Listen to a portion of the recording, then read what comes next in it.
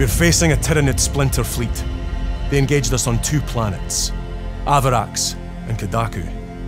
I'll be straight with you, Titus. I have my reservations about your reinstatement. There could be questions.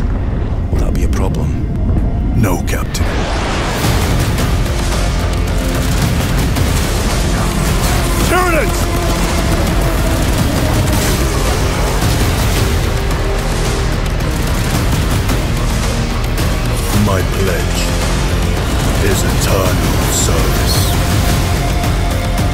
Xenos inbound! Eviscerate this abomination! Come forth and be slaughtered!